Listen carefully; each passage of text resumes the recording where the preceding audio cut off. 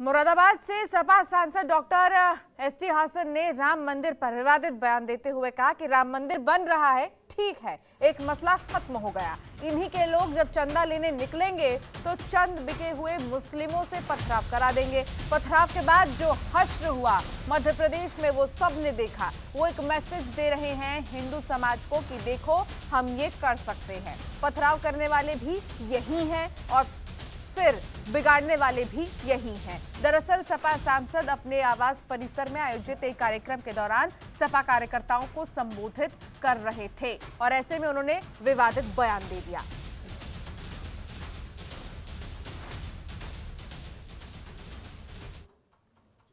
इनके पास एक बड़ा अच्छा हथियार है भाइयों। मैं हिंदू भाइयों से भी कहना चाह रहा हूँ। ये सब कुछ कर लेते हैं। लेकिन इसके इनके पास फार्मूला हिंदू मुसलमान का। ये आखिर में लाके ऐसा हिंदू मुसलमान करेंगे कि लोग भोले वाले लोग धार्मिक भावनाओं में बह के इनको वोट दे देते। यही बात है। राम मंदिर बन रहा है। चलिए एक, एक मसला खत्म हो गया। इन्हीं के लोग जब चंदा लेने निकलेंगे तो चंद बिके हुए मुसलमानों से इनसे पथराव करा देंगे। पथराव के बाद उनके साथ जो हशर हुआ मध्य प्रदेश में वो आपने देखा? वो मैसेज दे रहे हैं हिंदू कम्युनिटी को कि हम ये हशर कर सकते हैं। पथराव करने वाले भी यही थे और उनको हशर बिगाड़ने वाले भी यही सिर्फ़ इनके पास एक बड़ा अच्छा हथियार है भाइयों। मैं हिंदू भाइयों से भी कहना चाह रहा हूँ ये सब कुछ कर लेते हैं लेकिन इसके बाद इनके पास फार्मूला हिंदू मुसलमान का। ये आखिर में लाके ऐसा हिंदू मुसलमान करेंगे कि लोग भोले वाले लोग धार्मिक भावनाओं में बह के इनको वोट दे देते। रूपक त्यागी हमारे संवाददाता हमारे साथ जुड़ गए हैं। रूपक, सपा के ये जो नेता हैं, इन्होंने जिस तरीके से ये बयान दिया है, सांसद ने विवादित बयान, इसके मायने क्या निकाले जाए और क्या कहना ये चाह रहे थे? क्या जानकारी मिल रही है? शर्मनाक बयान सामने आया जैसे कि सपा सांसद होने के साथ साथ ये एमबीबीएस डॉक्टर भी हैं और गरीबों का मुफ़्त में इलाज भी करते हैं लेकिन इनकी तरफ़ से जो बयान सामने आया उसको कहीं ना कहीं शर्मनाक माना जा रहा है। जैसे कि इन्होंने एक बयान दिया है इसमें एक अपनी सभा में संबोधित करते हुए उन्होंने कहा है कि ये जो है ये इन्हीं इन्हीं लोगों अब जो है चंदा करने चंदा इकट्ठा करने निकलेंगे राम मंदिर के लिए और इन्हें ये जो है पथराव के बाद में भी जश्न की जैसी वारदातों को अंजाम देते हैं। लेकिन हिंदू समाज की तरफ़ देखें तो एक ये पथराव करने वाले भी हो सकते हैं और फ़िलहाल माहौल बिगाड़ने की बात करते हुए नज़र आ रहे हैं। फ़िलहाल इस मामले में जो प्रतिक्रिया और भी दलों की सामने आई है इस घटना को निंदनीय रूप दिया गया और निंदनीय रूप देने के बाद में इस बयान को शर्मनाक बताया गया जी।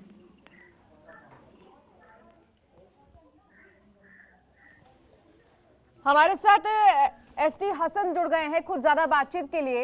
एस टी हसन जी, आपने जो बयान दिया है, हाल ही में एक कार्यक्रम में पथराव को लेकर कि जब चंदा लेने निकलेंगे तो कुछ चंद बिके हुए मुस्लिम हैं जो इन पर पथराव करेंगे। इसको अब अलग नज़रिए से देखा जा रहा है। आखिर इस बयान के मायने क्या निकाले हसन साहब?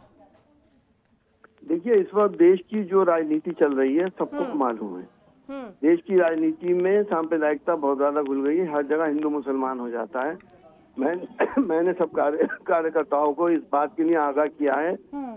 कि कोई भी एक बिकता हुआ कोई आदमी हुआ एक पत्थर भी किसी ने फेंक दिया तो बवाल हो जाता है सांप्रदायिक सौहार्द बिगड़ने ना पाए। हम्म। और जब ये सांप्रदायिक सौहार्द बिगड़ता है तो कुछ लोग को- वोट को पोलराइज करके फ़ायदा उठा लेते हैं। हम्म। अब ये नहीं होना आप पर ये लग रहा है कि आप हिंदू मुस्लिम कर रहे हैं इस बयान के बाद से।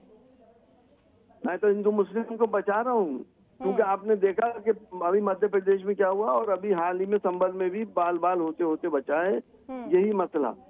तो ऐसा नहीं होना चाहिए कि हम किसी भी इश्तेहार में आके कोई अपना सांप्रदायिक सौहार्द बिगाड़ दें या आप- आपसी प्यार मोहब्बत को खत्म कर दें। ऐसा नहीं होना चाहिए जबकि राजनीतिक लोग इस तरह की कोशिश करते हैं और वोट को पोलराइज करने की कोशिश की जाती है। हम्म, तो आप जनतंत्र टीवी के माध्यम से अपने बयान को लेकर क्या सफ़ाई देना चाहेंगे? हसन साहब ये आप स्पष्ट शब्दों में बता दें आपको कई सारे दर्शक ऐसे हैं जो सुन रहे हैं।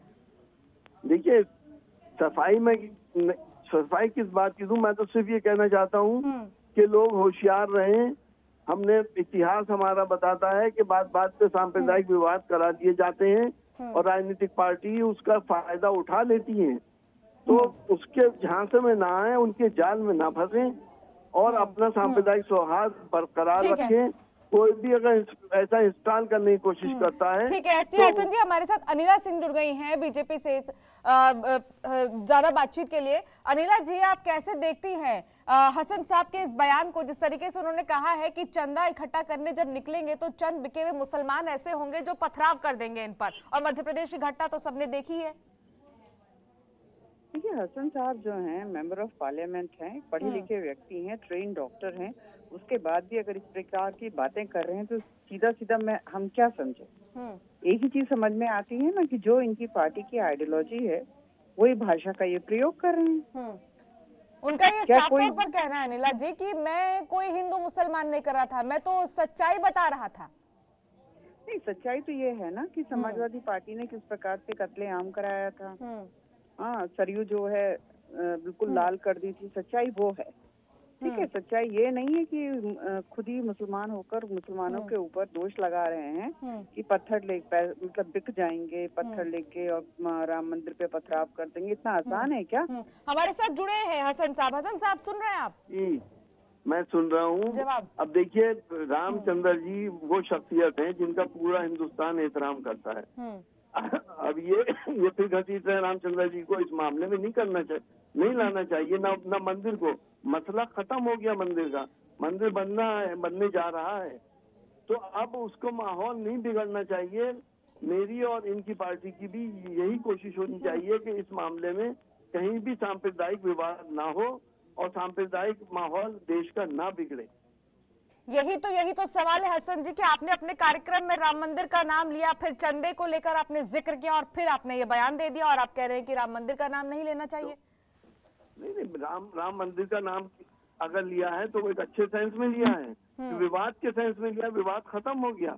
हम्म।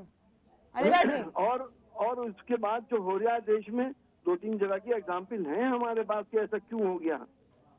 तो वो क्या हर हर सोसाइटी में कुछ बिके हुए लोग नहीं होते? पैसे की खातिर लोग क्या क्या नहीं कर देते हैं? हम्म। अगर एक भी आदमी ने किसी पे पत्थर फेंक दिया तो बवाल शुरू हो जाता है सेंटिमेंट से जुड़ा हुआ मामला है।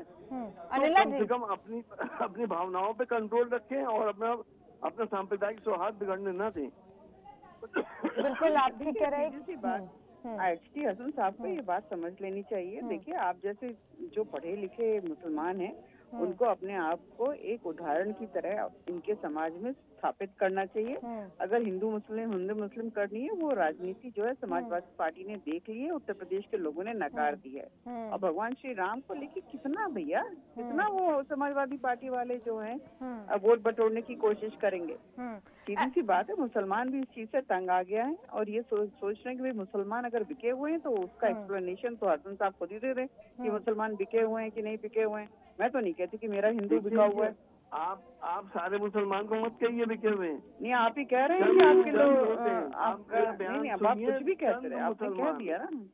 नहीं चंद मुसलमान की बात हुई है और हर चंद सोसाइटी में चंद लोग होते हैं जो का बिक- अंतर जो क्या है हसन साहब? चंद और सारे मुसलमान के बीच का अंतर क्या है? चंद तो इक्का दुक्का होता है। आप देश में अलग अलग अलग अलग नाम रखेंगे। हिंदू मुस्लिम चंद मुसलमान चंद हिंदू ऐसे रखेंगे आप नाम? देखिए हर सोसाइटी में कुछ कुछ लोग ऐसे होते हैं चंद लोग ऐसे होते हैं जो पैसे की खातिर बिक जाते हैं। वो चंद लोग हर कौन सोसाइटी है? में होते हैं। कौन है? आप बता दीजिए चंद लोग कौन है वो? अरे मैं कोई नाम थोड़ी जानता हूँ किसी का। तो आप ही ने कहा ना कि तो चंद मुसलमान तो ऐसे हैं जो पत्थरबाजी करेंगे? ये तो आप भी जानती हो कि लोग पैसे की खातिर क्या क्या नहीं करते थे? एक पत्थर फेंकने की फेंकने की क्या बड़ी बात है? तो मैं तो उससे आगाह कर रहा हूँ लोगों को प्रिकॉशन दे रहा हूँ कि इस बात का ध्यान रखें। अब इश्तेहार में ना आए भावनाओं में ना बहें। नहीं अनिला जी इनके चंद मुसलमान का इशारा किसकी ओर है? उत्तर प्रदेश में तो हाल ही में एंट्री मारी ओवैसी साहब ने और सियासी हलचल तेज है। किसको कह रहे हैं ये अनिला जी? नहीं नहीं मेरा मेरा सियासी लोगों से देखिए मतलब ऐसी बात है ऐसी बात है कि अब ये तो हसन साहब और इनकी पार्टी वाले ही बता पाएँगे ऐसे कौन से मुसलमान हैं हम्म। जो अपना दीन ईमान पैसों पे लेकर बेच देते हैं।